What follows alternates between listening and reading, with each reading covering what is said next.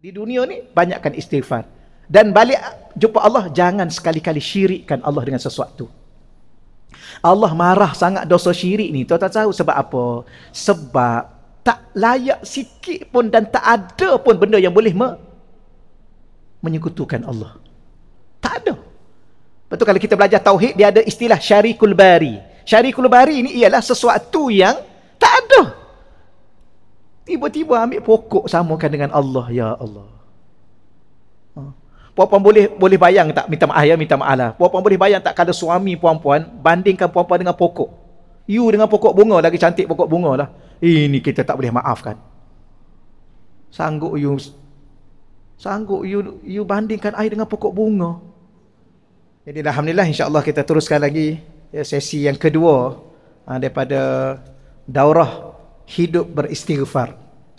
Ya saya ulang lagi sekali kepada tuan-tuan dan puan-puan, moga-moga hidup yang Allah berikan dan Allah anugerahkan kepada kita saat-saat akhir umur kita dan kita juga berharap Allah rezekikan kepada kita supaya kita sentiasa berada dalam berzikir kepada Allah dan salah satu daripada zikir-zikir yang kita baca dalam mengingatkan kita kepada Allah ialah kita ingat diri kita betapa banyaknya dosa-dosa kita, kesalahan-kesalahan dan kesilapan-kesilapan kita dengan Allah. Maka ketika itu Allah ringankan lisan kita untuk kita sentiasa melafazkan istighfar. Dan di sana muka surat 12 tu, nanti saya nak baca cepatkan sikit ya. Muka surat 12, kisah Nabi Yunus alaihi salam sebagaimana dirakamkan di dalam Al-Quran. Ha, ya. Baik, di antara disebut oleh Allah dalam uh, surah Al-Anbiya uh, surah yang ke-21 ayat yang ke-87. A'udzubillahi minasyaitonirrajim wa dhannun dan sebutlah peristiwa Zunnun. Zunnun ialah antara gelar kepada Nabi Yunus alaihi salam. An-nun itu sejenis ikan. Ha, ya. Baik. Ketika ia pergi meninggalkan kaumnya, idzahaba mughadiban. Ya ketika dia pergi meninggalkan kaumnya mughadiban dalam keadaan marah. Fazanna allan naqdira alaihi fazanna kita baca dan yang menyebabkan ia menyangka lan naqdira alaihi bahawa kami tidak akan mengenakannya kesusahan atau cubaan. Maka setelah berlaku kepadanya apa yang berlaku, fanada maka ia pun menyeru fi zulumat di dalam keadaan yang gelap gelita. Ha, dengan berkata, "Alla ilaha illa anta subhanaka inni kuntu minaz zalimin." Dia sebenarnya perkataan itu daripada situ. La ilaha illa anta subhanaka inni kuntu minaz zalimin. Saya nak sebut sedikit kalau tuan-tuan masih ingat lagi yang daurah kita hidup berzikir tu amalan ni diamal oleh para para alim ulama Yaman Hadramaut sebelum subuh. Ha, sebelum subuh baca 40 kali. Ha, ya. Dan akhir tu ada satu bacaan. Kalau tuan-tuan rujuk balik uh, kitab hati yang berzikir hati yang berzikir pun ada dalam tu ataupun kitab hidup berzikir. Ada saya tulis di situ contoh-contoh amalan. Cuma ulama-ulama meletakkan dahulu seruan kepada nama Allah dua nama. Yang dibaca ya hayyu ya qayyum la ilaha illa anta subhanaka inni kuntu minaz zalimin. Ya hayyu ya qayyum la ilaha illa anta subhanaka inni kuntu minaz zalimin ya hayyu ya qayyum la ilaha illa anta subhanaka inni kuntu minaz zalimin يا حي يا قيوم لا إله إلا أنت سبحانك إني كنت من الظالمين Yang tadi tu kalau tuan-tuan perasan Saya terus baca muka surat 12 tu ya Muka surat 11 tu Itu kisah Nabi Nun yang dibaca situ Tapi saya terus baca melalui kisah Yang disebut oleh Allah dalam Quran ha, Perasan tu ya Jadi antara amalan saya ulang lagi sekali Amalan ni ulama-ulama Hadramaut Yaman Dia baca 40 kali sebelum subuh Ha, ya sebelum subuh ada istighfar sebelum subuh salah satunya ni dibaca. Ha, ya. Iaitu cumanya diseru dulu dua nama Allah dan dibaca dua rangkap dua rangkap. Rangkap pertama la tu baca dua harakat. Rangkap kedua baca la tu enam harakat. Saya ulang balik. Dia baca macam mana? Ya hayyu ya qayyum la ilaha illa anta dua harakat. La la tu dua harakat. La ilaha illa anta subhanaka inni kuntu minaz zalimin. Rangkap kedua, panjangkan enam harakat Ya Hayyu Ya Qayyum La ilaha illa anta subhanaka inni kuntu minaz zalimin ha, Kenapa baca enam harakat di situ? Dia panggil mat ta'zim Mat ta'zim ialah mat yang dibaca enam harakat Disebabkan ada lam alif Selepasnya ada kalimah tauhid Mat ta'zim ya, Mat untuk membesarkan kalimah itu ya, Enam harakat Ha, boleh dibaca. Tapi kalau nak baca cepat macam biasa pun boleh 40 kali. Tapi tambah satu dengan penutup dia fi kulli lahzatin abada adada khalqi wa ridha nafsi wa zinata arshi wa midada kalimati. Ha, bacaan tolong rujuk balik dalam kitab hidup berzikir. Okey baik. Yang ketiga muka surat 13 istighfar Nabi kita Muhammad sallallahu alaihi wasallam sebelum wafat. Ini antara yang dibaca sebelum baginda wafat antara yang dibaca. Ha, ya. Subhanallah wa bihamdih astaghfirullah wa atubu ilaih. Subhanallah wa bihamdih astaghfirullah wa atubu ilaih. Subhanallah wa bihamdih astaghfirullah wa atubu ilaih. Ha, ya. Kalau di Yaman dia baca begini. Ha, antaranya Subhanallah wa bihamdi subhanallahil azim astaghfirullah subhanallah wa bihamdi subhanallahil azim astaghfirullah subhanallah wa bihamdi subhanallahil azim astaghfirullah 100 kali sebelum subuh juga dia gini nanti gini. Saya sebenarnya ada satu part kat sini yang akhir tu mungkin tak termasuk oleh pencetak. Uh, sebab saya bagi folder-folder yang lain. Uh, tu saya kata tak apa tak apa. Ya tu tak apa tak, mungkin uh, kesilapan saya. Nanti sesi kedua nanti saya buat satu yang yang yang part tu saya bagi. Sama ada kita print out ataupun kita bagi dalam grup. Yang amalan-amalan istighfar. Dalam ni dah banyak. Sebenarnya dah banyak. Saya takut nak bagi banyak sangat. Takut tak terbaca pula. ha, dia ilmu ni tak boleh bagi banyak sangat kan. Ha, dia sebenarnya kita ni dapat satu kita pulun yang tu cukup dah. Apa? Astaghfirullah, astaghfirullah, astaghfirullah. Seratus ribu satu hari. Ha, ya? Satu hari, 24 jam. Kalau tak dapat satu hari, dua hari. Tak dapat dua hari, tiga hari. Janjinya seratus ribu, seratus ribu kita buat. Ha, itu yang paling mudah lah. Tapi ulama-ulama, antaranya dia baca, Subhanallah wa bihamdih, Subhanallah azim, astaghfirullah. Subhanallah wa bihamdih, Subhanallah azim, astaghfirullah. Amalan tu amalan yang memurahkan rezeki. Papa baca lah sebelum subuh seratus, pagi tu papa tengok apa yang berlaku. Ha, ya? Pagi-pagi tu dah sarapan, rezeki dah tu. Ha, ya? Tapi kalau tidur mana ada rezeki. Ha, okay, ya? Kita ni kadang-kadang kita terfikir rezeki kan bom ke depan. Ha, apa? Satu juta. Ya. Habis yang makan sarapan tu bukan rezeki. Nasi lemak sebungkus tu kan. Yang singgit tu. Tapi tiga bungkus. Tu tak rezeki. Rezeki lah tu. Tes cawan tu yang tadi. Kopi tu. Rezeki lah tu. Tapi saya ustaz minta tak murah-murah rezeki. Ha, tengok. Dia pagi-pagi dah makan dah. Itulah rezeki. La haula wala quwata illa billah. Boleh ya? Okey, selesai. Kita cepatkan sikit ni. Ha. Ya bicara yang ketiga kelebihan-kelebihan istighfar. Ya kelebihan-kelebihan istighfar. Saya nak terus baca di situ. Ni paling ringkas ya. Saya cerita ni paling ringkas. Dia dalam lebih kurang 40 kelebihan tapi saya ringkaskan seringkas mungkin ni. Saya ambil yang penting-penting. Ha, yang lain pun penting juga. Kelebihan pertama mengikut sunnah Rasulullah sallallahu alaihi wasallam. Ini yang paling penting sekali. Hidup ni kalau nak diterima oleh Allah ikut Rasulullah. Buatlah apa pun kalau tak ikut Rasulullah tak akan diterima. Jadi Rasulullah sendiri pun beristighfar. Nah, jadi Nabi Muhammad sallallahu alaihi wasallam sebagai penghulu kepada para rasul dan para nabi alaihi wassalatu wasallam serta baginda sallallahu alaihi wasallam sebagai kekasih Allah sentiasa melazimi diri melazimi sentiasa tahu tiap-tiap hari tiap-tiap hari tak pernah tinggal sebagai kekasih Allah tiap-tiap hari beristighfar lebih pada 70 kali sehari bahkan dalam riwayat yang lain 100 kali sehari ada satu riwayat yang lain, Nabi duduk tengah-tengah dalam satu majlis. Kita ni ni, ni majlis ni kan, satu majlis. Lepas ni kita balik. Dalam satu majlis ni pun seratus kali kadang-kadang Nabi baca. Maknanya apa? Duduk mengajar sekejap, astagfirullahaladzim. Mengajar, astagfirullahaladzim. Duduk mengajar, astagfirullahaladzim. Seratus kali dalam satu majlis. Kenapa begitu sekali Nabi? Sebenarnya Nabi nak tunjuk contoh kepada kita. Kalau dia yang tak ada dosa pun bersungguh-sungguh, beria-ria minta maaf kepada Allah. Apatah lagi kita semua. Ha, dengan umur-umur yang ada ni kan. Dah dekat dah kita ni. Okey ya? Ke rasa macam mana? Ha. Rasa selera lagi ustaz. Lambat lagi lah. Tidur pun lena lagi, lambat lagi. Jangan. Baik, daripada Sayyidina Abu Hurairah radha anhu bahwasanya saya rekan kata hadis ini hadis sahih daripada Imam Bukhari, beliau mendengar Rasulullah sallallahu alaihi wasallam bersabda, "Wallahi." Ha, yang satu lagi kata ulama, Nabi bersumpah. Bila mana Nabi bersumpah ni benar bukan main-main. Padahal Nabi ni kalau tak, tak bersumpah pun kata-kata Nabi benar, cakapan-cakapan Nabi benar, sabda Nabi benar.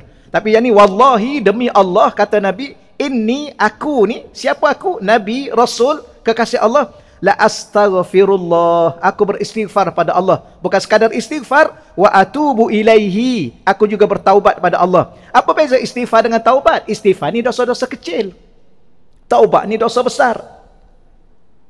Maknanya ada, nabi dosa kecil pun tak ada. Kenapa sampai bertaubat? Ha, nabi nak ajar pada kita.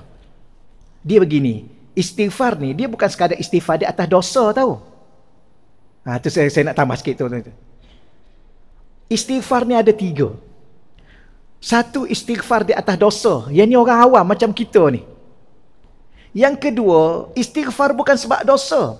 Istighfar sebab buat ibadah tapi tak sempurna. Contoh kita solat. Kan lepas solat kan kita istighfar.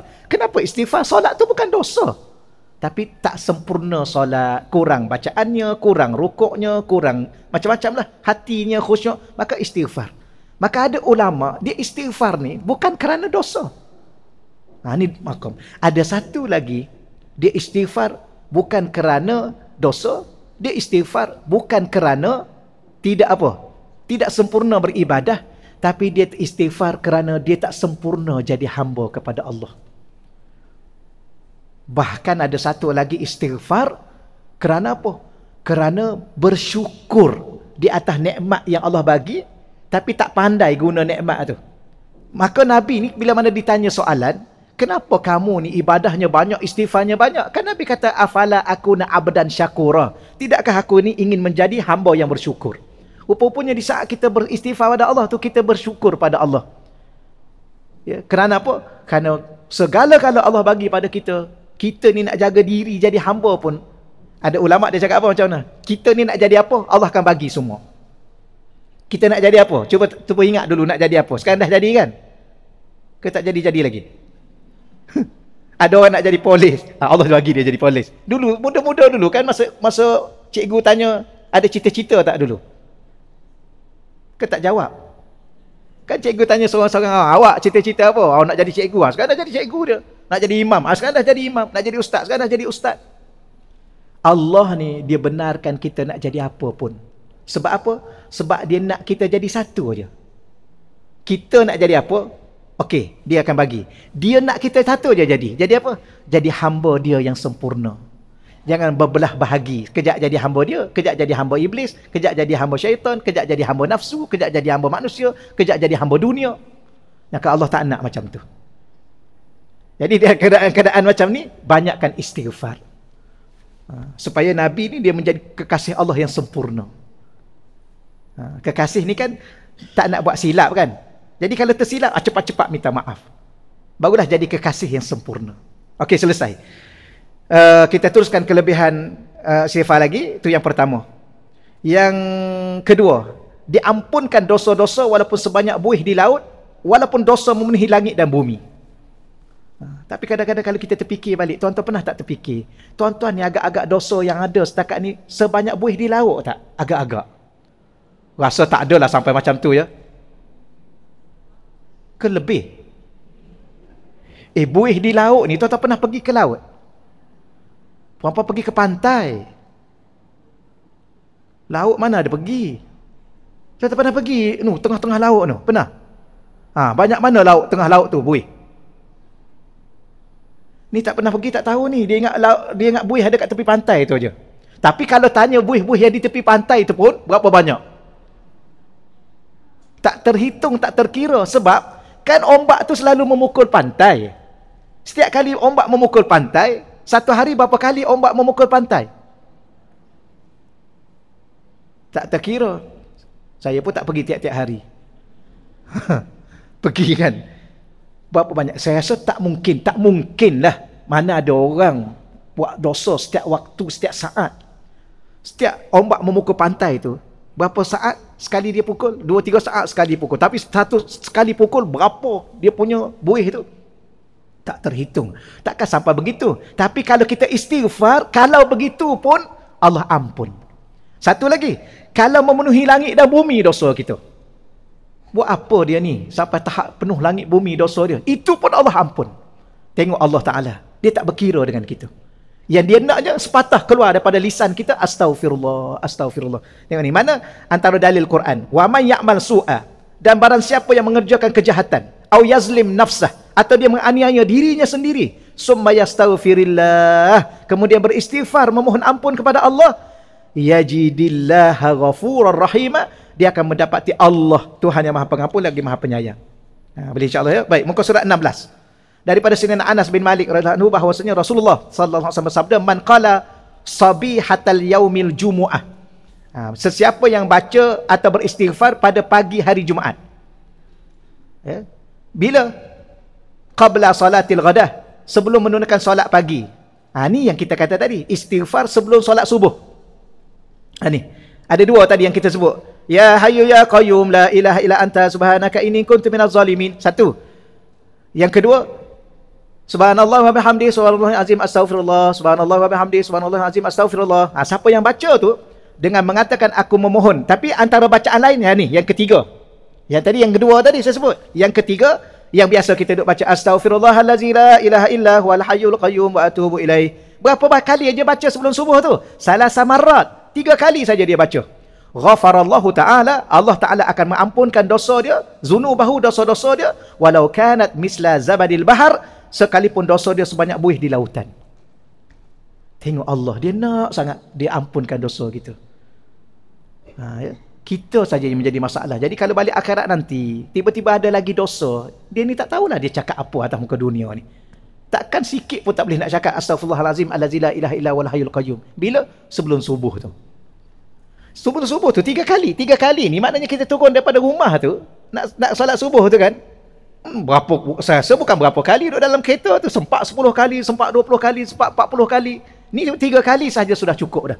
Allah ampun dosa kita sebanyak buih di laut. Okey muka surat 17 an sadina Anas radhiyallahu anhu qala.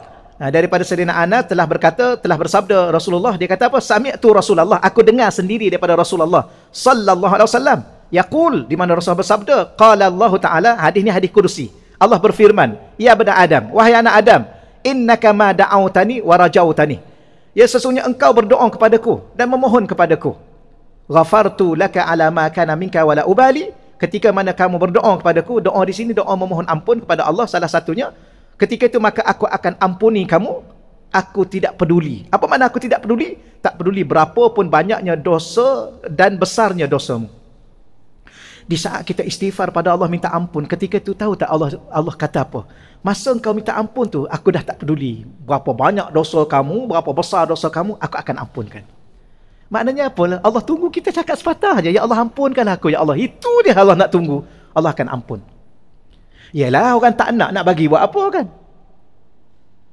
Dia datang, ada apa tuan ni? Ah, tak ada apa-apa. Cakaplah nak apa? Ah, tak apa, tak apa, tak apa. Oh, tak apa, tak apa, ya lah. Ada orang memang dia tak nak bagi. Ketika kita nak bagi juga. Nanti kita bagi madu pula kita. Eh saya tak nak lah. Ha, sebab tu tanya dulu. Nak ke tak nak? Tak nak. Tak nak sudahlah. Jadi Allah ni kan Tuhan yang maha pemurah. Tapi bila bila dah tak nak, tak nak nak buat macam mana nak bagi. Jadi Tuhan yang maha pemurah ni. Yang kita tak minta pun dia bagi. Bagaimana kalau kita minta?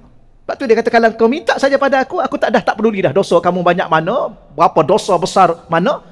Allah aku akan ampunkan. Baik. Kemudian Allah kata apa lagi? Ya benar Adam. Wahai anak Adam lau balagat zunubuka ananas sama seandainya dosa kamu ni sebanyak awan di langit summastaghfartani ghafartu laka dan kalau kau ampunkan saja kamu minta saja ampun kepada aku aku ampun dosa sepenuh langit kemudian Allah kata apa lagi ya abna adam wahai anak adam innaka sebenarnya engkau lau ataitani kalau kamu datang jumpa dengan aku bikurubil ardi khataya sebanyak mana sebanyak sepenuh bumi khataya kesalahan-kesalahanmu summa laqitani la tusyrik bi tetapi di saat kamu jumpa dengan aku kamu dah minta maaf dengan aku kan kemudian kamu jumpa dengan aku pada waktu itu kamu tidak mensyirikkan aku dengan sesuatu apa pun aku pasti akan mengampunkan kamu. Ha, ya, sedikit apa pun temui aku akan ampunkan. Maknanya apa? Allah sedang menanti-nanti untuk ampunkan kita. Cuma balik akhirat nanti di dunia ni sebelum jumpa Allah akhirat nanti di dunia ni banyakkan istighfar. Dan balik jumpa Allah jangan sekali-kali syirikkan Allah dengan sesuatu. Allah marah sangat dosa syirik ni. Tuan-tuan tahu sebab apa? Sebab tak layak sikit pun dan tak ada pun benda yang boleh me menyekutukan Allah. Tak ada. Betul kalau kita belajar tauhid dia ada istilah syarikul bari. Syarikul bari ini ialah sesuatu yang tak ada. Tiba-tiba ambil pokok samakan dengan Allah ya Allah. Ha. Puan-puan boleh boleh bayang tak minta maaf ya minta maaf lah. Puan-puan boleh bayang tak kalau suami puan-puan bandingkan puan-puan dengan pokok. You dengan pokok bunga lagi cantik pokok bunga lah. Ini kita tak boleh maafkan. Sanggup you sanggup you you bandingkan air dengan pokok bunga. Tapi tak pernah lah kan? Dia banding dengan perempuan lain pun tak boleh. Ini banding dengan kucing. You dengan kucing lagi wangi lah. Ha, sudah tuan-tuan sekalian. Memang menghina. Betul-betul menghina lah. Dia panggil. Lepas tu kita suami jangan, jangan ya. Isteri pun jangan banding. Jangan banding. Ni perangai-perangai membanding ni. Ada saya mengajar mana-mana tempat ramai banyak soalan ni. Isteri duduk banding dengan suami orang. Seorang isteri duduk banding. Abang, kenapa abang tak buat macam dia tu? Tengok suami dia tu. Ha, jadi isteri dia lah. Contoh. Jadi Allah murka sangat kat kita ni pasal apa? Kita buat contoh banding sekutu dengan Allah. Tak layak langsung dengan Allah. Kita pun terasa hati kalau orang banding dengan kita dengan benda-benda yang tak selayak. Kalau ia pun agak-agak lah nak buat bandingan. Betul ya? Ha, tak kata dulu lah. Nanti tajuk lain pula. Okey, kita teruskan lagi. Nak kata eh, bukan nak kata ni tak sempat ni. Ya, kelebihan yang ketiga, mendapat berbagai kemudahan dan berterusan mendapat nikmat. Ini salah satunya. Ya, kita akan dapat nikmat berterusan tak putus-putus kalau kita istighfar. Ya, bacalah malam tu, pagi besok cuba tengok apa benda yang Allah akan bagi pada kita. Mana dalil Quran? Wa anistaghfiru rabbakum. Hendaklah kamu beristighfar kepada Tuhanmu. Summa tubu ilaih. Kemudian bertaubat kepadanya. Jika kamu mengerjakannya demikian, yumatti'akum mata'an hasana nescaya dia Allah akan memberi kenikmatan yang baik terus menerus kepada kamu ila ajalin musamma sampai kepada satu waktu yang telah ditentukan oleh Allah. Sampai masa kita mati matilah itu ajal. Itu disebut ajal yang kita mati. Tapi selama, selama mana kita beristighfar pada Allah dan kita tidak mati Allah akan terus menerus memberi nikmat kepada kita. Salah satu nikmat sehat. Sebab apa kita tak tak tak sehat-sehat kan? Sebab kita tak banyak istighfar. Doktor dah jumpa, ubat dah makan. Kadang-kadang duduk dalam ward lagi. Berminggu-minggu. Keluar-keluar, sehatlah sekejap, sakit pula. Salah satu punca, tak banyak istighfar. Kerana ada dosa, ada sakit dengan sebab dosa yang banyak. Ha, cuba cuba istighfar, insyaAllah makin sehat, makin sehat, makin sehat. Tapi ustaz, saya ni makin istighfar makin sakit. Ha, tak apa. Allah nak matikan kita sebab Allah nak letak dalam syurga. Dah banyakkan istighfar kan? Tapi sakit juga. Ha, Allah nak cari, cari sebab musabab. Supaya kita ni mati, kemudian seluruh masuk ke syurga. Kenapa dah tak ada dosa dah? Tapi kenapa Allah sakitkan juga? Sebab Allah nak cari sebab untuk dekatkan kita dengan dia secepat mungkin. Ha, Allah tak akan sia-siakan. Kemudian apa lagi? Wa yu'ti kulladhi fadlin fadlah. Dan dia akan memberikan kepada tiap-tiap orang yang mempunyai keutamaan, balasan keutamaannya. Ha, ya istighfar tadi. Jika kamu berpaling, ha, ni yang menjadi masalahnya, wa'in tawallau. Tapi masalah kamu ni berpaling daripada Allah. Dosa banyak tak nak mengaku, dosa banyak tak nak istighfar, bahkan berpaling daripada Allah. Allah kata apa? Fa inni akhafu alaikum azab yaumin kabir. Sesungguhnya aku takut kamu akan ditimpa seksa hari kiamat. Ha, okey, yang keempat, jalan penyelesaian daripada segala masalah. Ha, ini salah satunya. Kadang-kadang saya ada masalah, tuan-tuan ada masalah. Kita ni masalah sebenarnya, macam mana nak selesai masalah? Banyakkan istighfar. Ha, tapi kita cari orang dulu kan. Kita cari orang supaya selesaikan masalah kita. Rupanya orang tu lebih banyak masalah dengan kita. Apa masalah dia? Dia pun tak banyak istighfar. Itu masalah dia. Betul tuan-tuan. Ha. Dia pun tak banyak istighfar. Rupa-rupanya orang yang tak ada masalah dalam dunia yang boleh selesaikan masalah kita, orang yang banyak istighfar. Sebab tu Nabi boleh selesaikan masalah kita dunia dan akhirat sebab Nabi ni insan yang paling banyak istighfar. Ha, boleh insya-Allah ya. Kita baca contoh daripada Sayyidina Ibnu Abbas radhiyallahu anhu, radhiyallahu anhu minta maaf. Bahawa Nabi wasallam bersabda, "Man lazima istighfar." Barang siapa yang melazimi atau sentiasa beristighfar, ja'alallahu lahu, Allah sendiri jadikan untuknya min kulli dhiqin makhraja, bagi setiap kesempatan itu Allah jadikan jalan keluar. Apa saja masalah yang sempit yang menyebabkan kita dah buntu dah. Kita istighfar, Allah buka jalan keluar. Wa min kulli hammin faraja. Setiap kebimbangan itu ada kelapangan yang Allah akan buka.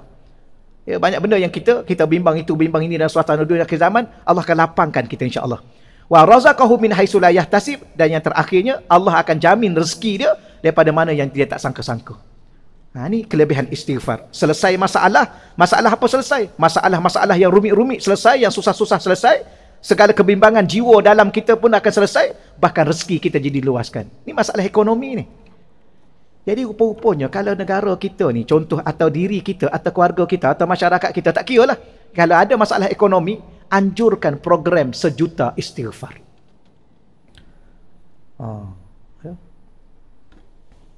Panggil semua masuk stadium, ataupun panggil semua pergi kat mana-mana lah, tak kira lah, padang mana-mana, solat taubat dua rakaat, semua istighfar. Biar dapat sejuta istighfar. Inilah penyelesaian masalah. Ha, tapi gitulah kan. Ha, gitulah. Nak cerita juga. Ha, gitulah. kan? Ha, tambah lagi dengan konsert dan sebagainya, tambah dosa lagi. Macam mana nak selesai masalah? Okey, selesai. Yang seterusnya, muka surat 20. Ha, Okey lah ya, boleh lah ya. Tak laju sangat kan? Ha. Ni sebenarnya baca sampai sampai habis pun, kalau tak istighfar, tak jadi ni. Astaghfirullahalazim. Ini nak Baik, kelebihan yang kelima, memberi dan menambah kekuatan kepada diri. Ah ni umur-umur yang macam ni kena banyak istighfar. Barulah kuat sikit nak bangun malam. Ni dah lah umur dah macam ni kan. Sakit pula dah. Ha, tuan-tuan jangan terasa tahu saya cakap umur macam tuan-tuan ya. Saya pun dah mula terasa tahu. Oh patutlah. Ha. Patut Nabi kata masa muda mu sebelum masa tua. Ha. Tapi kita eh, tapi kita muda lagi ya. Itu masalahnya rasa muda. Uh, tapi tak apa jangan, jangan risau. Habis apa cerita dia? Ha, ini salah satu. Uh, di mana disebut dalam surah Hud ayat 52. Ya dia memberi dan menambah kekuatan. Wa ya qaumistaghfiru. Dan wahai kaumku, beristighfarlah. Minta maaf ampun pada Allah kepada Tuhanmu Rabbakum summa tubu ilaihi kemudian berkembalilah taat kepadanya taubat kepadanya yursilis sama alaikum midrara supaya dia menghantar kepada kamu hujan lebat. Hujan lebat di sini hujan yang boleh memberi manfaat. Dia ada dua hujan lebat, satu hujan lebat membawa banjir tak? Hujan lebat memberi manfaat. Dengan sebab istighfar. Wa yazidkum quwwatan ila quwwatikum. Ha, ini dalil dia. Serta menambahkan kamu kekuatan di samping kekuatan kamu yang sedia ada.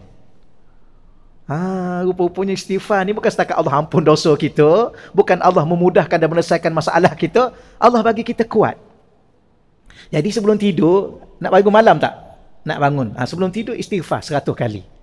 Allah kuatkan kita, badan kita. Jiwa tu memang Allah bagi kuat lah. Sebab jiwa ni lemah, sebab dosa melekat kat jiwa. Bila mana dosa melekat kat jiwa, jiwa ni mempengaruhi badan tau. Maka badan jadi lemah. Jadi sebelum tidur istighfar seratus kali. Dengan niat supaya istighfar itu bukan sekadar Allah ampun dosa kita, Allah kuatkan jasad kita, jiwa dalam kita untuk kita bangun malam. Itu ha, salah satunya. Okey, selesai situ insyaAllah ya. Kemudian muka surat 21 tu. Ah, tak, 20 yang bawah tu. Mendapat balasan syurga. Ha, yang ini dijamin oleh Allah. Orang yang banyak istighfar, balasan dia adalah syurga. Ha, ni ya. Jadi, salah satu jalan mudah untuk ke syurga, banyakkan istighfar. Salah satu jalan untuk mudah ke syurga, kata ulama, banyakkan istighfar. Tapi ulama kata akhir zaman ni ada dua amalan yang mudah masuk syurga. Satu istighfar, satu selawat. Banyakkan, sungguh-sungguh. Mana dalil Quran? Walladzina dan orang-orang yang iza apabila fa'alu fahisyah melakukan dosa yang keji au zalamu anfusahum ataupun mereka menzalimi diri mereka sendiri zakarullah syarat pertama mereka ingat Allah. Ya buat dosa kemudian ingat Allah untuk kita kembali pada Allah.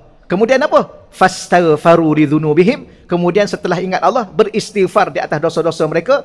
Kerana apa? Wa may yaghfiru dzunuba illallah tidak ada yang boleh mengampunkan dosa kecuali Allah. Walam yusiru ala ma fa'alu. Syarat seterusnya ialah ini nanti saya sebut kesimpulan. Syarat keseluruhannya ialah jangan berterusan melakukan dosa.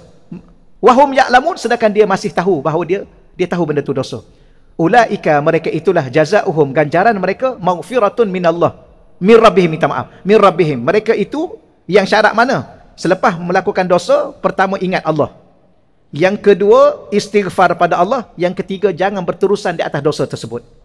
Ada tiga syarat ni mereka itu kata Allah akan mendapat ganjaran pertama keampunan daripada Allah yang kedua jannat beberapa buah syurga bukan jannah kalau ta bulat itu satu syurga tau Orang yang beristighfar ni kata ulama, kadang kala Allah bukan bagi satu, Allah bagi dua, Allah bagi tiga. Jannat disediakan kepada mereka syurga-syurga. Selalu kita Allah sebut satu syurga. Ni syurga-syurga. Tajri min tahtihal anhar yang mana syurga itu mengalir sungai-sungai di dalamnya. Khalidina fiha abada. Yang paling untung sekali, yang paling gembira sekali.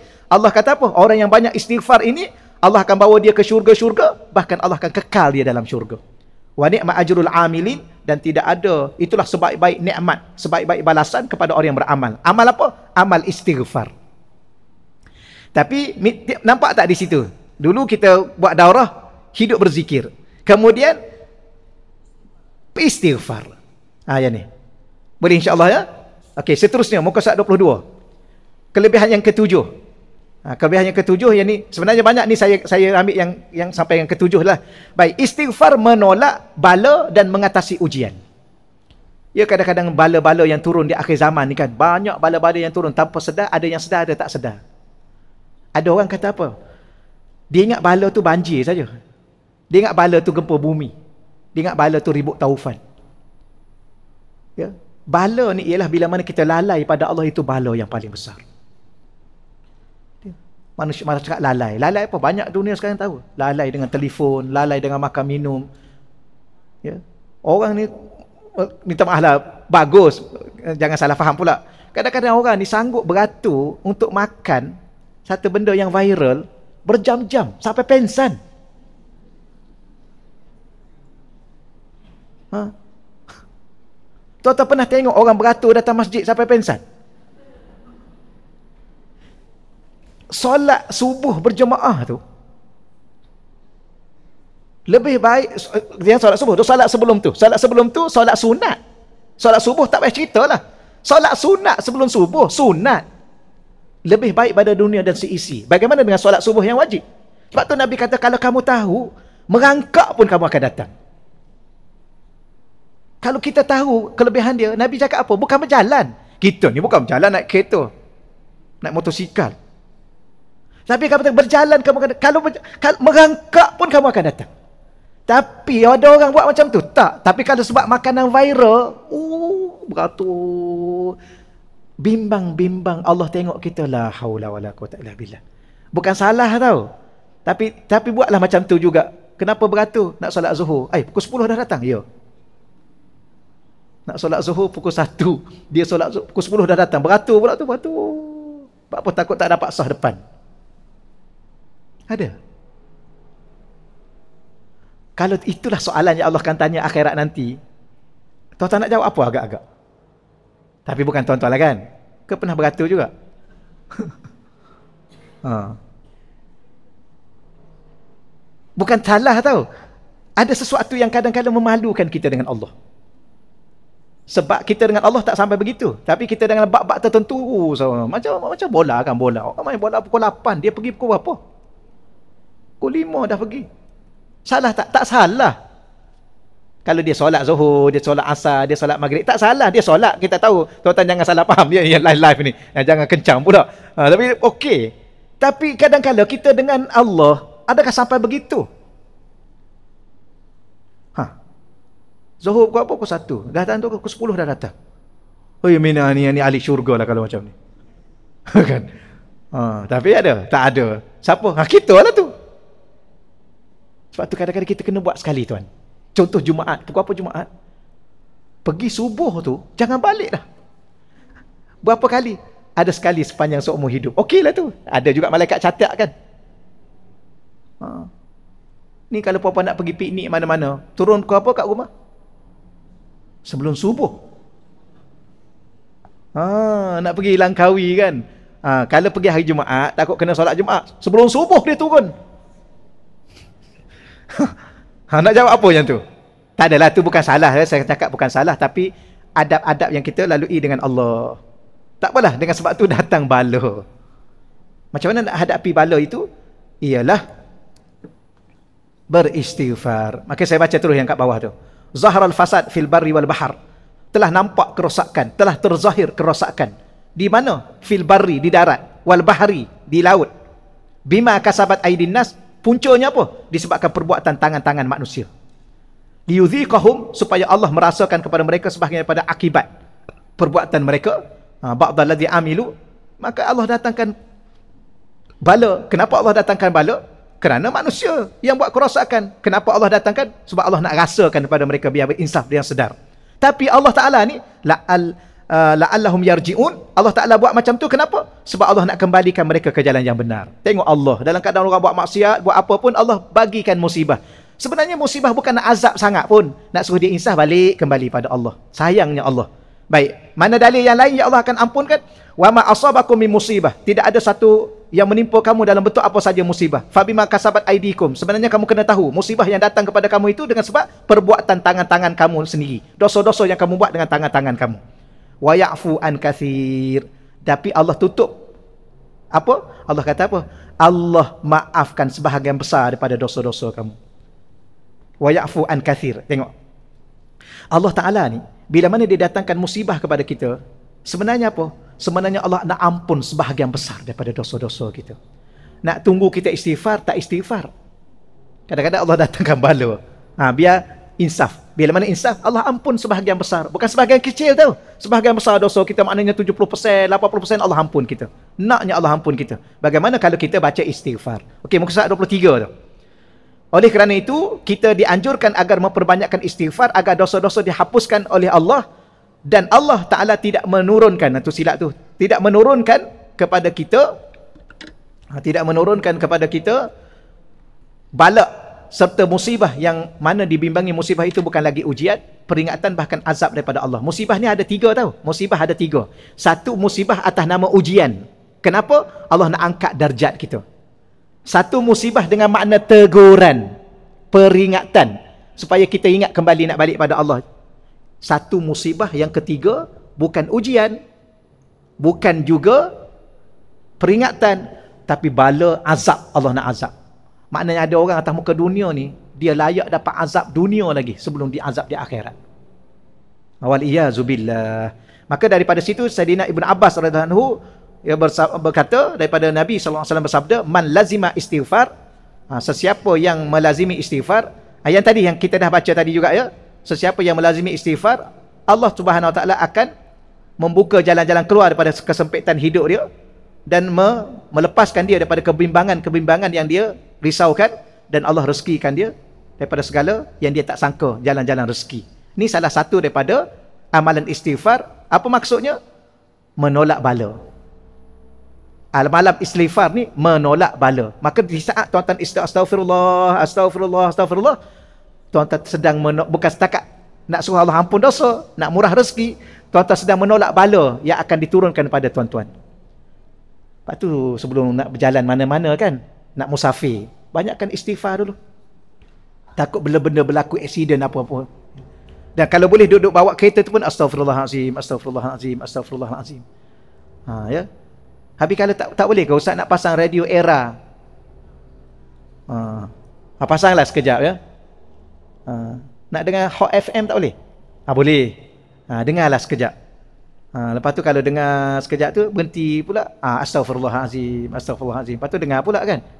Lepas tu astagfirullahaladzim, astagfirullahaladzim. Ha, teruskanlah macam biasa.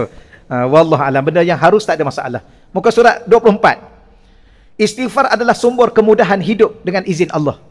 Ha, nak mudah perjalanan hidup ni, ha, banyakkan istighfar. Insya Allah mudah. Saya dulu masa di Mesir dulu tuan-tuan ni pengalaman di Mesir dulu. Peperiksaan memang susah lah. Ya, kadang-kadang orang tanya kita orang Malaysia, apalah pelajar-pelajar Mesir ni? Ya, ramai yang fail. Memang ramai. Ya, kadang-kadang tak lepas.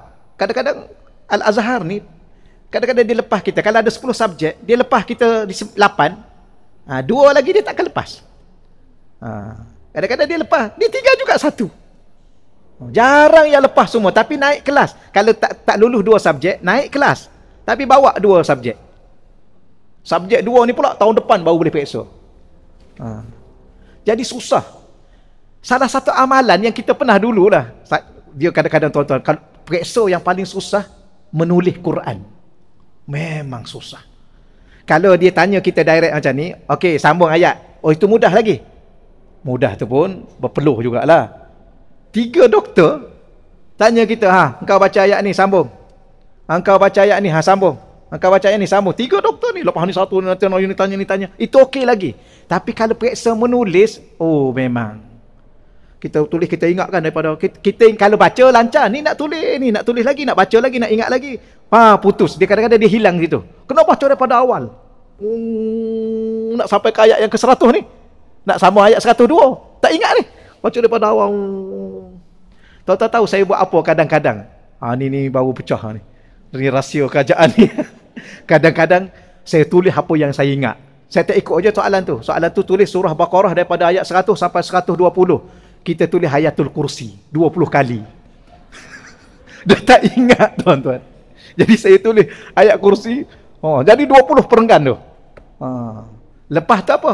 Istighfar. Istighfar. Dah soalan minta lain kita tulis lain tapi Quran lah juga. Lepas tu istighfar lah tuan-tuan. Sebelum keluar periksa tu istighfar makbul.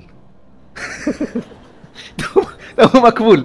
Lulus. Alhamdulillah. Istighfar. Ni saya buat betul ni. Tak saya tak pernah cerita ni kali pertama saya cerita ni. ni mengaibkan. Uh, istighfar. Pergi solat tu istighfar, istighfar, istighfar. Kemudian satu lagi baca Yasin. Kalau tuan-tuan tengah tunggu keputusan yasin dengan istighfar. Macam anak-anak kita kan dia dia apa dia nak minta kerja kan. Bunga dia pergi apa interview. Ha, masa tunggu tu berapa lama tunggu? Seminggu dua minggu baca yasin tiap-tiap hari. Dan istighfar insya-Allah makbul. Ha, kalau tak mumtaz pun makbul diterima. Ha, tu, tu, memang memang betul tuan-tuan ya. Kadang-kadang kita jawab lain soalan lain jawab lain Kemudian istighfar. Makbul. Tapi doktor-doktor Azhar ni, minta maaf lah saya cakap tuan-tuan sekalian, memang sebahagian besarnya awliya-awliya. Dia tengok muka kita tu dia tak dia tak tahu dah. Memang kita hafal, cuma kita pelupa. Tapi dia tengok muka awal-awal dia dah tahu dah. Memang wajib rasib fail wajib. Tak apa-apa tak membaca.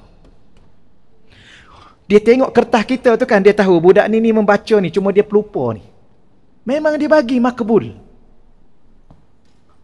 Dah tanya soalan surah Baqarah jawab. Tapi sebenarnya, ayat tu kursi tu pun surah Baqarah juga. Ah, yang tu kena bijak juga, jangan tulis sebarangan. Ah, dia minta surah Baqarah, cuma ayat 100 sampai 120. Kita tulis surah Baqarah ayat 200 lebih.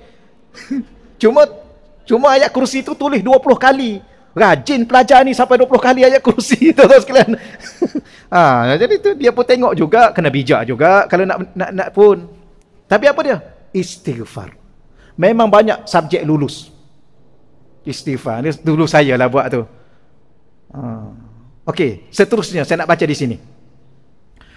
Memperbanyakkan istighfar di mana pun, di mana pun dan bila masa pun. Istighfar adalah amalan yang sangat mudah. Ya, Oh, dekat sikit. Hmm. Baik, istighfar amalan yang sangat mudah tuan-tuan sekalian. Untuk diamalkan hanya menggerakkan lidah dan menghadirkan hati. Ini antara adab dia. Lisan kena gerak like astagfirullah, tapi hati itu kena rasa dengan Allah, rasa menyesal. Rasa berharap. Ah, okey ya? Baik, maka Imam Hasan Basri berkata, "Aksiru minal istighfar." Perbanyakkan istighfar. Di mana? Fi buyutikum, di rumah-rumah kamu. Kadang-kadang rumah kita ni kenapa rumah okey dah, tak ada apa pun. Tapi masuk rumah rasa ya Allah, nak bergaduh aja rasa. Kan tak ada baru ni ada ada orang orang tanya saya, ustaz, nak buat macam mana ustaz? Keluar rumah, pergi mana? Pergi mana-mana pun, pergi restoran, pergi masjid, pergi berjalan mana-mana, happy aja kita orang ustaz. Balik rumah mula nak bergaduh dah. Ha, balik rumah nak bergaduh, isteri marah. Ayo, saya pun tak tahu kenapa. Saya rasa nak marah ke anak. anak kadang-kadang anak pun bukan apa masalah dia pun. Tapi rasa nak marah je. Ha, wallah alam. Wallah alam apa benda ada dalam rumah, wallah alam. Tapi ni, banyakkan istighfar. Senang Hasan Basri. Di mana lagi? Wa ala mawaidikum. Di mana kena baca lagi? Di meja-meja makan kamu. Oh, pelik dia. Jadi apa masalah? Okey, sebelum kita makan, sebelum baca doa, istighfar dulu tiga kali. Di meja makan tu kena istighfar. Berapa ramai orang masa makan tu lah sambil-sambil makan duk mengumpat orang. Mengumpat meja sebelah. Ha, kata, kita pun kadang-kadang pergi kenduri kan. Rasa nak mengumpat orang. Dah dia makan banyak sangat dia ni. ni. saya pernah sekali, depan saya minta maaf tuan-tuan ni cerita lah. Yang cerita selingan-selingan. Dia tak boleh serius sangat kan. Saya pergi kenduri, satu kenduri tu. Ada seorang tu, dia ambil, dah lah dia pinggan tu besar. Tinggi ni tuan-tuan, tinggi ni. Kalau ia pun ambil sikit lah dulu, kemudian pergi lagi sekali. Kan banyak meja-meja tu kan. Dia ambil tinggi ya Allah. Saya kata habis ke? Memang habis lah tuan-tuan dia makan. Lepas tu dah lah pinggan tu pinggan besar, penuh, tinggi, habis. Kemudian dia pergi ambil satu pinggan lagi. saya masa tu, ha, tu, tu, tu, tu, tu, baru ke saya ingat ya Allah. Kita pun ya Allah dia ni makan dengan apa ni? Dalam hati ni. Lepas tu datang dalam hati, Astaghfirullah. Tak boleh ikut dia lah. Dah perut dia kan besar. Kita jangan ukur dengan perut kita. Dan selera dia juga. Selera yang Alhamdulillah dia selera. Mungkin dia dah lama dah tak selera. Hari tu dia selera. Biarlah dia makan apa masalah kitanya. Lagipun kenduri itu bukan kenduri kita pun. Kenduri orang lain. Kita pun pergi kenduri orang juga. Ha, ni tuan-tuan. Kadang-kadang kita sibuk dengan orang tahu. Biarlah dia duduk depan kita tuan-tuan Kita. Habis dia makan. Biarkan dia. Yang kita duk, duk, duk cangka buruk pada dia tak apa masalah kita. Maka ni, oh baru kita faham istighfar. Di meja-meja makan istighfar. Kerana berapa ramai manusia buat dosa di meja-meja makan. Duk tengah makan tu boleh mengumpat orang. Tak tak apa, tak sedar diri Allah bagi dia makan, dia buat dosa dengan Allah. Duk tengah makan. Ha ni. Kemudian wafi turukikum. Ha, istighfar juga Ni perbanyak tau. Dia kata ni aksiru, perbanyak. Bukan sikit, perbanyakkan. Di mana? Di jalan-jalan. Berapa ramai orang bergaduh di tengah jalan? Sikit aja pun terlanggar, sikit aja. Bayar aja lah. Relax lah. Kalau apa orang buat report, lepas buat report apa? Buat report claim lah. Kan ada insurans. Ni sampai bertumbuk-tumbuk apa masalah sebenarnya kita ni? Sebab syaitan tu menguasai kita. Kenapa? Sebab tu Hasan Basri kata, di jalan-jalan tu istighfar. Takut buat dosa kat tepi jalan. Duk tengah buat dosa, datang kereta lain, pam, habis. Nampak tak? Ni dalam kereta duk dengar lagu Hindustan. Entah apa makna dia, tak tahu dah. Dia puji Tuhan dia ke apa. Ha. Kita seronok dengar datang kereta lain, pam, habis kita. Ha. Yang pelik lagi, duk bergaduh dengan suami dalam kereta. Yalah, bergaduh dengan siri pun sama juga. Tahu ada tuan-tuan. Ada. Nak bawa kereta ni bergaduh. Istighfar. Okey ya? Bukan apa pun bergaduhnya. Salah masuk lorong aja. Ah ni you lah ni tunjuk jalan salah tak ada saya tu. Kadang-kadang saya marah kat isteri saya tu. Tahu dah jalan depan dia tunjuk jalan ni. Ha, kadang-kadang astagfirullahalazim. Kan? Syaitan ni dia tunggu dia tunggu sikit aja kita.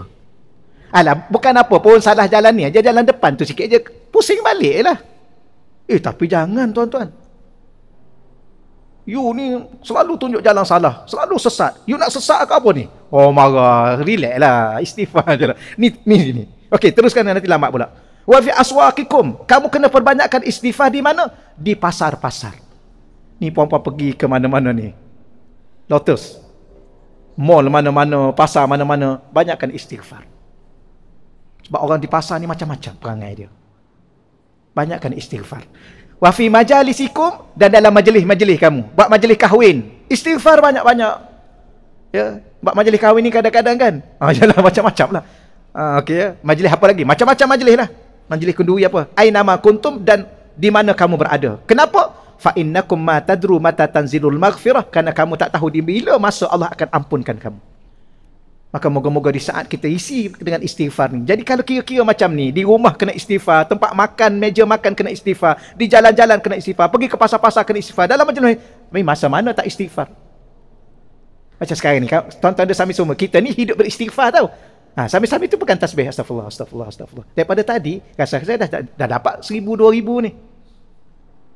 Dalam majlis-majlis kamu. Okey, selesai. Muka surat 25.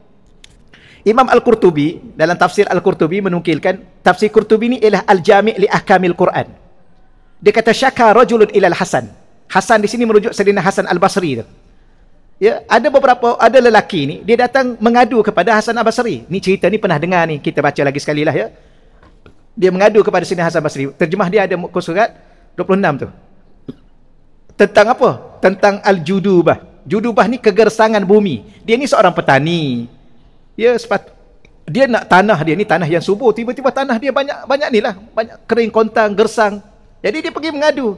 Pada tengok tuan-tuan sekalian. Tuan-tuan tak pelik ke? Tengok ni. Orang zaman dulu dididik oleh ulama-ulama. Bercucuk tanam tiba-tiba tak tak tumbuh. Kenapa? Tanah tu tanah yang gersang. Sepatutnya dia pergi ke jabatan pertanian. Ya ha ke apa Mardi. Ah pergilah mana-mana ke Mardi ke apa ke. Dia pergi jumpa Saidina Hasan Basri. Tuan tak, tak perasan tak ni ni? Maknanya ada benda-benda atas muka dunia walaupun nampak zahirnya benda-benda dunia tapi kena rujuk ulama. Ni kalau kita cerita. Dia pergi jumpa Hasan Basri. Tapi Hasan Basri pula dia tak bagi kepada ilmu pertanian. Okeylah, ginilah kalau kamu nak tanam pokok-pokok basahkan nak? Itu dulu biar tak gersang apa macam-macam lah. Ataupun tengoklah ada sumur-sumur air alirkan ke situ. Tak. Dia jawab apa? Astaghfirullah. Istighfir Mana? Apa dia? Baca bawah bawah tu. Istaghfirullah. Okey. Kamu bercucuk tanam kan? Uh, hasil tak banyak sebab tanah tu ke saya ha, Banyakkan istighfar. Ada seorang lagi datang. Wasyaka akhir ilahi al-faqra. Seorang lagi datang. Wahai Hasan Basri Aku ni fakir Ya macam mana nak buat? Sepatutnya nasihat kat dia buka pasar malam. ha, pergi ke pasar malam tu, ambil satu tapak amniaga. Dah fakir kan? Nak jual apa? Ha, jualah apa-apa yang ada dulu. Kemudian kembangkanlah. Tak, dia jawab apa? Beristighfarlah pada Allah. Wa qala lahu ada seorang lagi datang. Udu Allah ayyarzuqani walada. Wahai Hasan Basri, boleh tak kamu doa pada Allah supaya aku direzekikan anak? Kahwin lama dah tak dapat anak.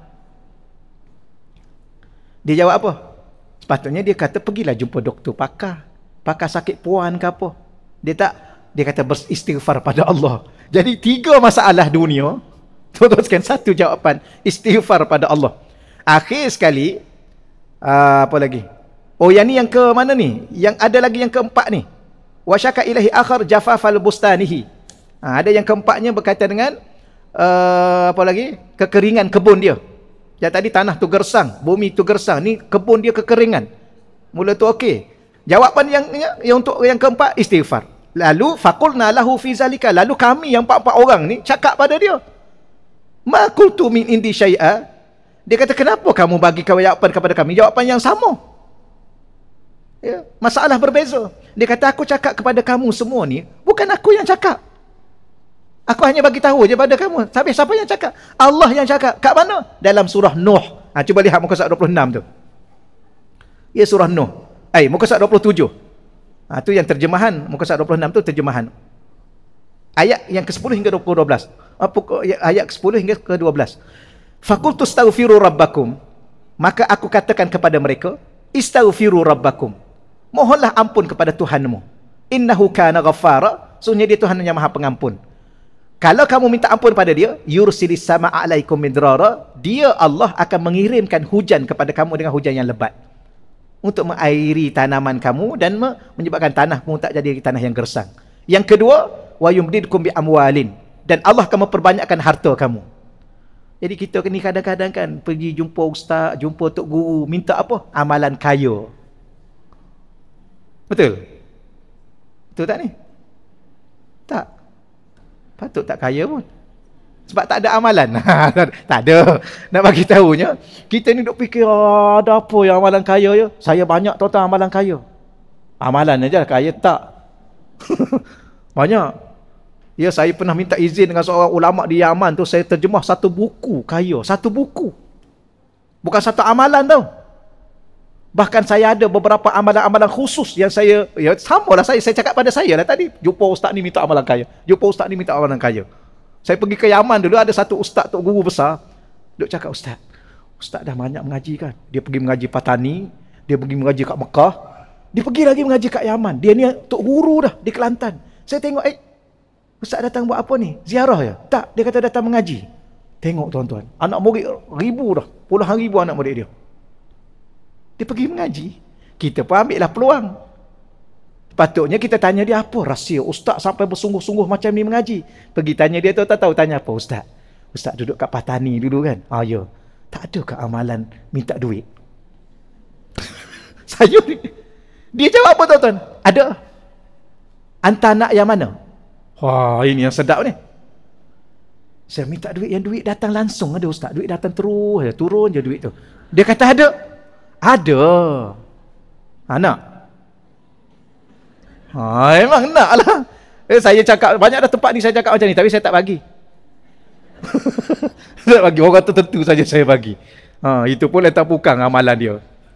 Ha, tak tak jadi. Amalan mudah tapi susah nak buat. Ha, saya pun dulu amal tapi saya dah tinggalkan. Tapi rupa-rupanya duk susah payah pergi sana pergi sini. Apa amalan dia? Banyakkan istighfar. Ni? Wa yumdidkum kami akan persiapkan untuk kamu berikan kepada kamu bi amwal amwal tu plural. Bukan mal bukan mal tahu. Amwal dengan harta-harta yang melimpah-limpah. Istighfar sahaja. Kemudian wabanin. Bukan setakat Allah bagi harta Allah akan bagi lagi anak-anak yang ramai. Dan anak-anak tu pula akan kaya-kaya semua ha Okey ya? Ni. Apa maksudnya? Salah satu sebab kita ni susah, dosa kita banyak. Itu sebenarnya. Tak luas rezeki, tak murah rezeki. Orang lain, subhanallah. Orang lain kadang-kadang duduk duduk atas meja satu jam. Dia boleh masuk ratus-ratus juta tau. Kita keluar pagi sampai petang. Salah satu punca dosa kita banyak. Ha ni istighfar. Kemudian apa lagi? Wa yaj'al lakum jannat wa yaj'al lakum anhara dan kami mengadakan untuk kamu kebun-kebun. Nah, orang buat kebun ni kena banyak istighfar. Ni duk sibuk tanya amalan tak nak babi masuk. Saya ingat Ustaz Rundin, Tuan Haji, almarhum Tok Guru Rundin ni, orang tanya dia, apa amalan Tuan Guru? Kebun saya babi masuk. Oh, dia kata mudah aja. Ambil ambil kelapa yang kena tubuk tupai tu ambil cari kelapa empat biji yang yang kena tebuk tupai pergi letak empat penjuru kebun. insya-Allah tak masuk. Kawan tu ambil lah kelapa tu letak. Masuk juga. Tok guru kata tak masuk. Masuk tok guru. Cuba bawa kelapa tu nak tengok ada tak masuk babi dalam tu. Rupa-rupanya dalam kelapa tu memang dia tak masuk lah nak masuk macam mana. Uh. dia nak ajar apa istighfar. Babi itu masuk sebab dosa kita banyak, maka dia tolong habiskan pokok kita tu. Nak pokok besar, nak pokok banyak hasil, dia tu dia buat dosa hari-hari pada Tuhan. Allah pun hantar babi tu. Babi tu ikut arahan tu tahu. Ha. Dia syukur jadi babi tu. Ha, tak tu dulu. Okey. Kemudian lakum anhara. Allah cipta apa? Anhar. Bukan setakat Allah turunkan hujan. Allah alihkan sungai-sungai. Apa makna sungai-sungai? Salah satunya mata-mata air yang ada kat bawah tu. Patutlah kebun dia subur. Dia taklah siram sangat. Rupanya Allah alirkan mata air ke bawah tu. Maka pokok tu cukup air. Bawah tu. Ha. Ni kebun ada sungai, mati kebun tu. Kebun dah dalam sungai ada. Alik sungai besar. Patutnya cukup air. Mati kebun tu. Bawa. Tuan kebun tu banyak dosa. Salah satunya. Tapi ilmu-ilmu pertanian kena tahu juga. Ha, kan? Masa astagfirullahaladzim, astagfirullahaladzim, astagfirullahaladzim. Tani atas, tanam tu atas darat. Mana dia? Serai. Tahu tanam serai? Kita ni beli serai kat kedai. Balik-balik letak serai tu dalam gelas. Dalam cawan. Masukkan air. Supaya dia keluar akar. Kemudian keluar daun. Pergi tanam yang tu. Yang itulah yang tak banyak dapat hasil. Kemudian pokok cepat mati. Sebab akar dia tak masuk dalam. Cara tanam serai ialah buang akar tu biar yang ada akar sikit-sikit buang semua, yang atas tu potong, letak uh, ni tidur macam tidur mengiring gitu. Ha tu. Jangan jangan tanam ini menegak jangan tanam menegak. Tanam menegak dapat satu pohon daripada satu batang tu. Kalau tanam mengiring ni dia dapat beberapa pohon. Pokok-pokok akan keluar anak-anak kecil dia keluar banyak. Mungkin satu batang tu akan keluar tiga empat. Kemudian akar dia akan kuat sebab dia baru akar yang baru, dia menjunam ke dalam tu. Oh macam tu. Ha, macam tu tanam serai. Kemudian tanah-tanah astagfirullah, astagfirullah. Astagfirullah. Ini ha, ni nak, nak tahu kan? Ha, saya tahu lah sikit-sikit. Ha, kita orang kampung kan? Ha, pasarai tu dia tahan lama. Dia subur. Jangan istighfar saja. Ha. Okey insyaAllah ya. Ha. Tapi ada orang duk tengah tanam tu pun duk mengumpat kat orang. Ha. Bila nak tanam pokok-pokok tu nak naik. Takat dulu. Sikit lagi, sikit lagi. Sikit lagi. Ha. Kemudian. Kalau kira-kiranya. Saya nak nak hurai. Tapi nak hurai ringkas dia panjang juga ni. Tak apalah kita berhenti situ dululah ya. Ha. Situ dulu. Uh, Tuan-tuan baca dululah. Nanti saya akan. Uh, bagi PDF ada satu amalan khusus istighfar. Di sana ada istighfar kabir, ada istighfar tolak bala. Kalau ada bala, ada istighfar khusus nak tolak bala. Ha, boleh juga baca istighfar lain tapi ada amalan khusus. Nanti saya akan bagi PDF pada masa ke depan. Baik, cuma di sana uh, ada tiga nama Allah daripada perkataan asal. Ingat tadi saya awal-awal kita sebut tadi, ada tiga nama Allah daripada perkataan ghafara. Huruf ghin, huruf fa, huruf ra' ada tiga nama Allah daripada situ. Ghafir Ghaffar Ghafur. Ha, Ghafir Ghaffar Ghafur. Saya ambil masa dalam 2-3 minit saja 2-3 minit pada tuan-tuan kemudian akan datang kita baca terus bicara lima untuk amalan pada sesi ke depan baik muka surat 31 tu sekejap saya hurai pada tuan-tuan Allah ni dia ada tiga nama daripada perkataan Ghafara Ghafur Ghaffar Ghafir mana dalil Quran? Atau dalam surah Nisa 106. Wastaghfirillah. Innallaha kana ghafura. Ha tu ghafur. Kemudian pada muka surat 33 tu, sekejap ya, sekejap. Allah juga nama Ghafir. Ah, bukan bukan bukan. Uh, saya terlepas ni. Ada muka surat 29 tu. Minta maaf. Ah, muka surat 29 Ghaffar. Ah, uh, Ghaffar Fakultu astaghfiru rabbakum innahu kana ghaffara. Itu satu. Muka surat 31 ghafur. Innallaha kana ghafurar rahima. Muka surat 33 ghafir. Siapa Allah? Ghafiriz zam wa qabilit taub syadidil iqab zit taul la ilaha illahu ilaihil masir.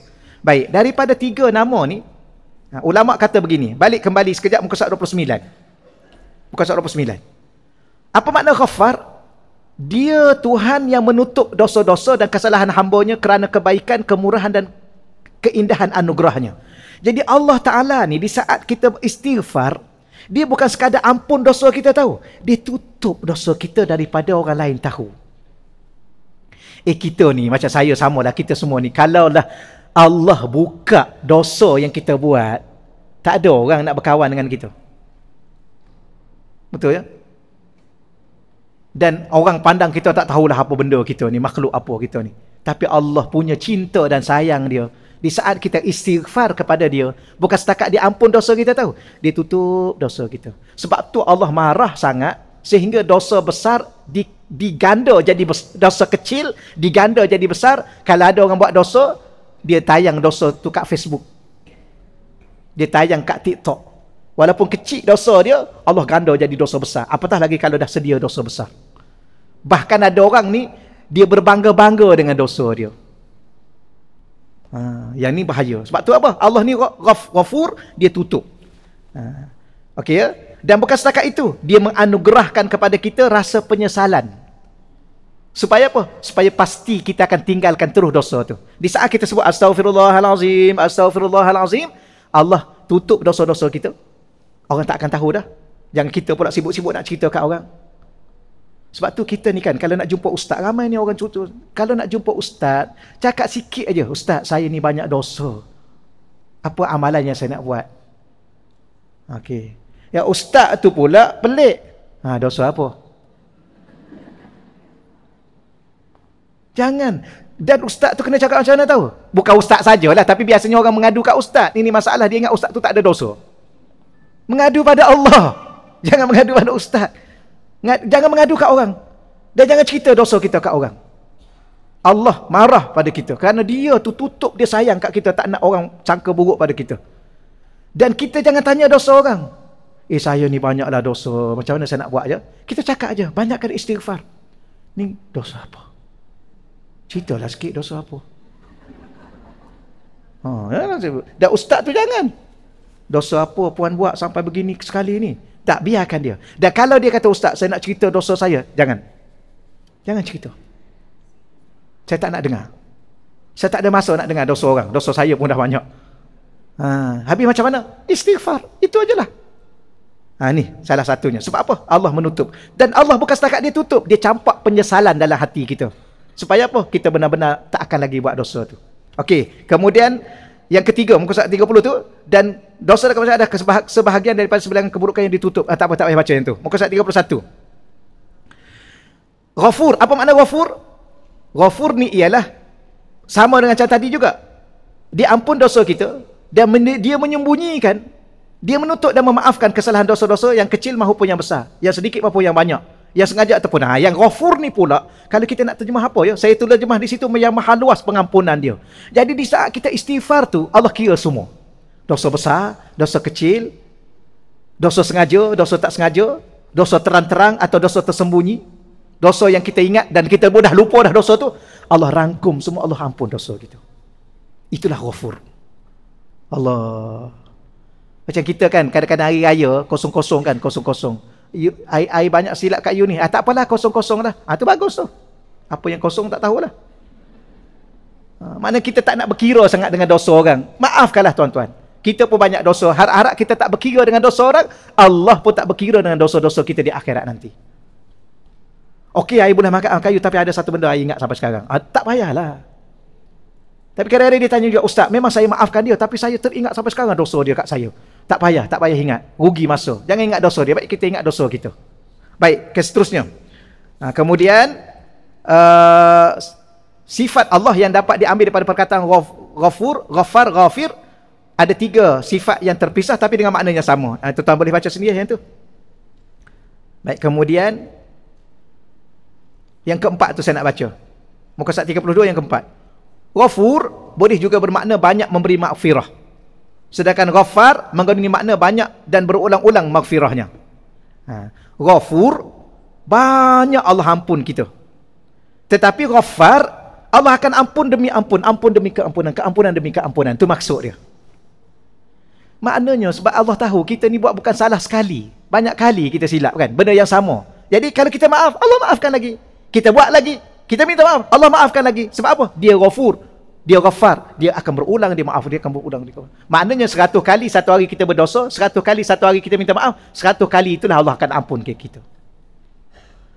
Jadi kalau kita belajar macam ni lah kita dengan Allah, rasa-rasanya kalau balik bawa dosa juga, tak tahu ni dia ni buat apa ni.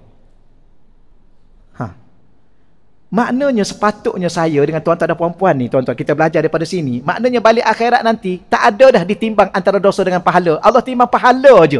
Kenapa? Allah ni nak ampun kita. Astagfirullah, astagfirullah, astagfirullah. Allah ampun semua sekali. Okey, yang terakhir. Muka surat 33 untuk hari ini. Ghafir. Apa makna ghafir? Ha, Imam Ibn Arabi berpendapat ghafir adalah yang melakukan, yang memberi kemafaan.